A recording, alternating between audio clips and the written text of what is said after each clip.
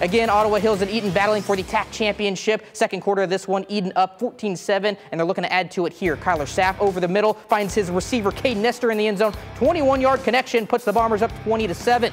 Ottawa Hills though responds in a big way right before half. The give is a Sam McCaffrey on the jet sweep, and he makes one cut, finds a crease, and boom, see ya down the sideline for the 68-yard score. Green Bears head to the half, down 20 to 14. We jump to the fourth. Green Bears down by three now, and this isn't a replay. No, the jet sweep again to McCaffrey goes the distance as he tiptoes his way down the sideline. That's all he would need as he goes 74 yards this time for the score. Ottawa Hills wins the outright TAC title as they go on to win 24 to 20. We made that game pretty close. Give Edon credit.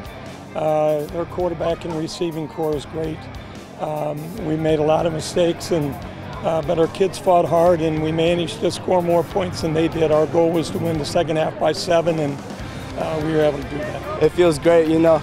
We've been working towards this our last four years, and it great, it's great to finally be able to do it, uh, be able to achieve our goals. It feels great, you know. The seniors been working for it all four years, and it feels so great. You know, we came in in the summer, and that was our goal, and we accomplished it.